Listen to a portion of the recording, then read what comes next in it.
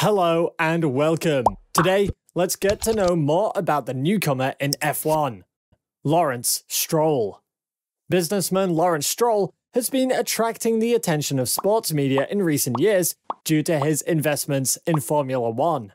From the entry of his youngest son, Lance, into the category to the purchase of the Force India team, the Stroll name arouses curiosity in journalists and fans.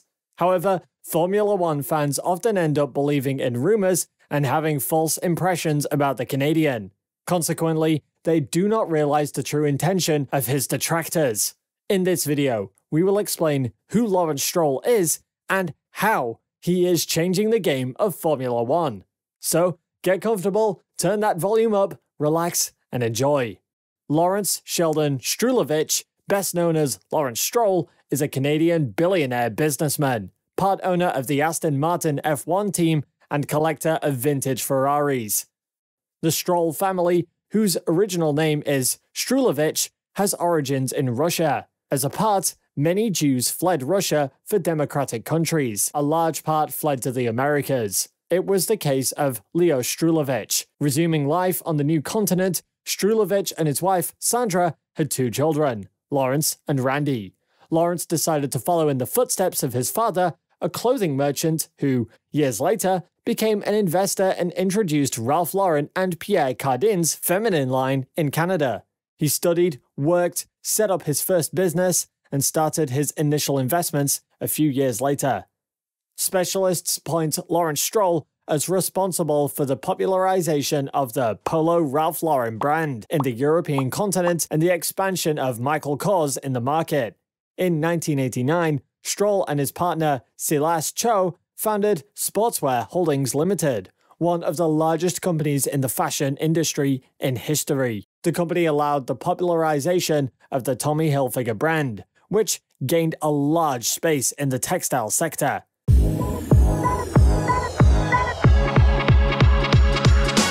In August 1994, Stroll married Belgian fashion designer Claire Anne Callens, on April 11th of the following year, their first daughter Chloe was born.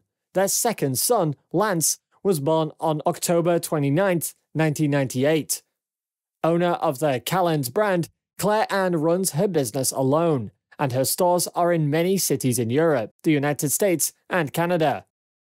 Lawrence Stroll reports that he raced in the Ferrari Challenge, a competition made by collectors who own the Ferrari Model 348. Around his 30 years, and continued during the childhood of his children, who used to see their father at the event.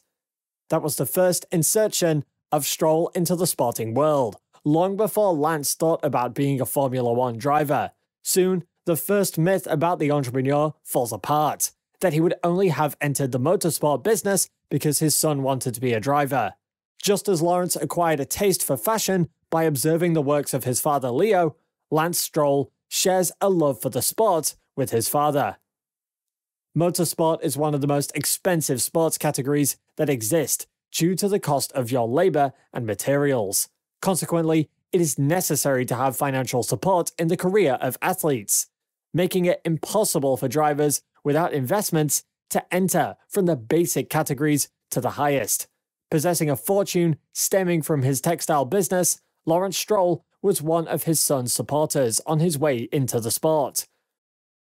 Stroll has a large car collection, mostly consisting of Ferraris, from the Ferrari 250 GTO to the latest LaFerrari. In the garage, you can also find McLarens and the Ford GT.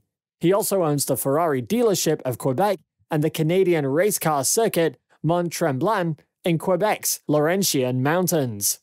In August 2018, Stroll led a consortium of investors in buying the Force India F1 team.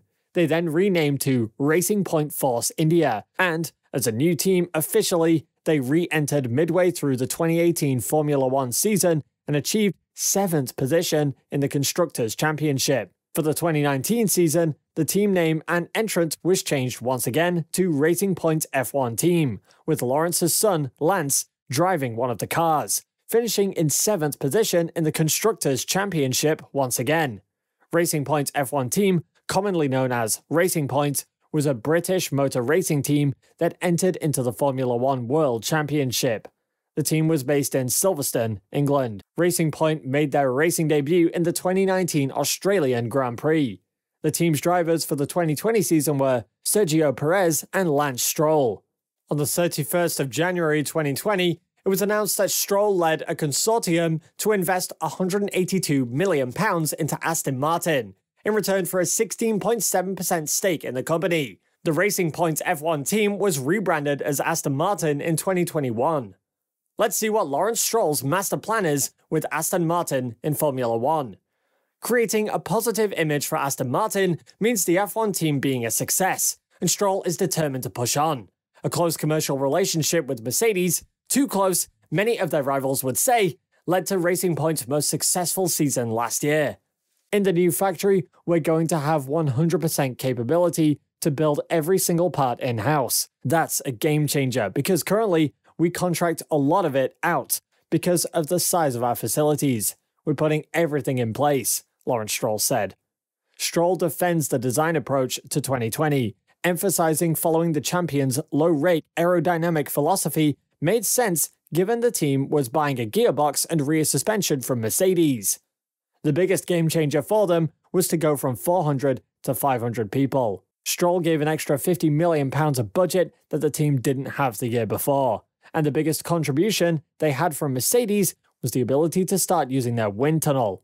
It was better than the wind tunnel we were using in Germany, the Toyota one. Stroll believes the introduction of the budget cap from 2021 will play into his hands, as the big teams have to reduce in headcount towards where Aston already is. Aston Martin remains a customer team to some degree. It still buys a number of parts from Mercedes, including the gearbox and its hydraulics and permitted suspension components but Stroll says he asked his senior managers whether this would stand in the way of success, and they insisted it would not. Formula One has the new rules coming in for 2022, and a new team is designed to win. That's why Lawrence Stroll joined with the big boys to win. The aerodynamics will remain the key differentiator under the new 2022 rules. Lawrence Stroll is all about the people, having the best CFD guys, the best aerodynamicists, is what Aston Martin is trying to achieve. And of the 100 people they have already added to the company, about 65% of them are in that area. In 2022, the cars are going to be remarkably the same to each other. The big differentiators today you won't see in 2022. Good thing, bad thing, we don't know yet. But they are going to be remarkably similar. So it's going to be about your aero department. And of course, things like reliability. Now, let's take a closer look at the Aston Martin drivers lineup. The signing of Vettel is a calculated part on this ambition. The German's reputation has been tarnished by his performances over the past four years at Ferrari, but Stroll believes a new environment where he is loved and wanted will bring out the best in Vettel, and that his mere presence will strengthen the team. Stroll is thinking outside the box, and his idea is to prepare the team to win the championship. One of the ways Aston Martin is going to be world champions is to get the team to think and act like world champions. And bringing a four time world champion into the team is going to take them in a direction where ultimately they will win many trophies. So I'm not concerned. I know Sebastian well, and I have 100% confidence and belief he will do a fantastic job with us. He is more motivated than he ever has been. Stroll is equally frank about his ambitions for his son. To be world champion, Stroll Jr. has had some strong results not least his pole and leading half the race in Turkey last year, but not many believe he has consistently demonstrated he is the stuff of which champions are made. Nevertheless, Lawrence believes Lance has been extremely impressive. At 21, he did an incredible job. Last year, demonstrated he had the ability to perform very well.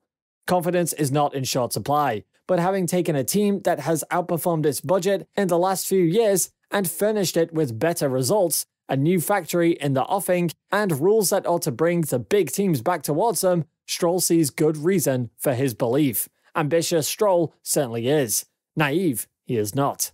F1 is a process that takes years to be successful. It is not overnight. This will be the same with Aston Martin.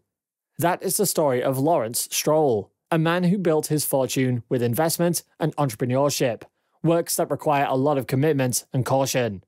If you expected the stereotype of a wealthy heir to a large capital, married to a socialite, and a playboy child, look for someone else. Maybe you will find a driver's father with that profile. But that is definitely not Lawrence Stroll. Listen!